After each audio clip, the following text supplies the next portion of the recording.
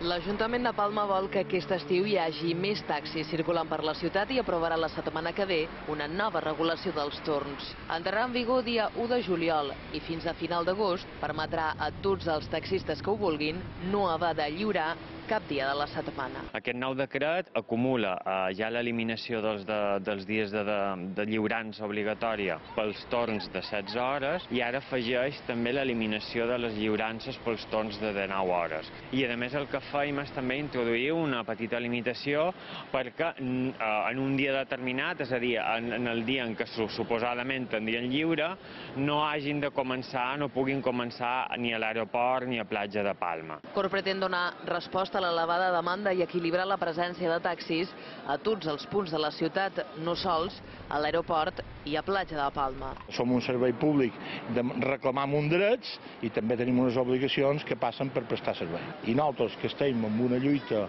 encarnissada contra la presència d'Uber, de Cabify, de totes aquestes històries, ens hem de posar les piles i el que no podem fer és consentir que hi hagi problemes de que falti servei. Altres, però, pensen que la nova regulació ocasionarà desequilibris i reclamen la liberalització durant les 24 hores.